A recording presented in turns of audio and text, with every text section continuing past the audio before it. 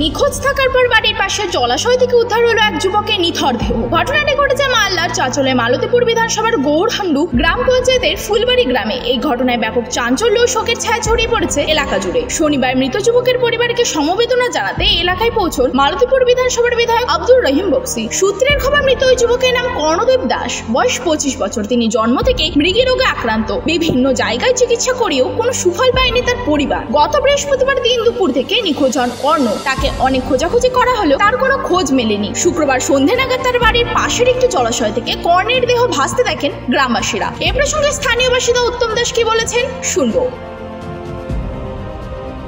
জন্মসূত্রে ওর ইয়ে ছিল ব্যারামটা ওই কি নাম? মির্গি কর্ণদাস তো জন্মসূত্রেই ছিল অনেক ওষুধ টষুধ করেছি ডাক্তারি ফাক্তারি কবিরাজিও করেছি। বয়স মোটামুটি পঁচিশ হয়ে গেছিল। গত পরশু দিন হঠাৎ করে দুটোর পর দেখছি আর বাড়িতে নেই। গল্পের ধান্দায় ছিলাম ওর পেছনে লোক থাকে, কিন্তু সেদিন ছিল না।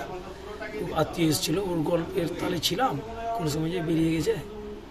হঠাৎ করে দেখছি আর নাই, খোঁজা কাটা শুরু করলাম। খুঁজতে খুঁজতে খুঁজতে খুঁজতে কালকে পেয়েছি। কোথায় পেয়েছে?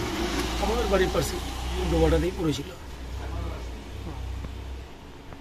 আজ আমাদের মাননীয় মালতীপুরের বিধায়ক, এমএলএ সাহেব, রহিম বক্সি কাকু এসছে। ওনার সাথে আমার খুব ভালো সম্পর্ক। কর্ণ দাস আপনার নাম? আমার নাম উত্তম দাস।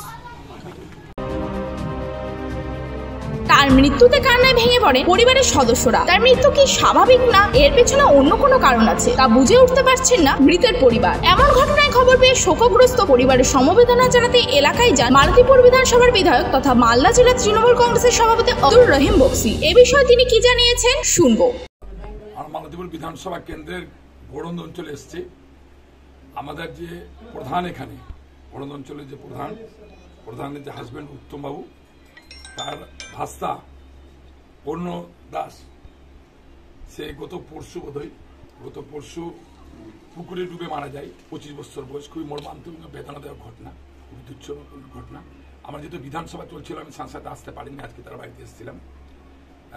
খুবই গোটা পরিবার সগাহত মর্মাহত এবং এই এলাকার মানুষ, গ্রামের মানুষদের ছেলেটাকে সবাই মিলে ভালোবাসতেন।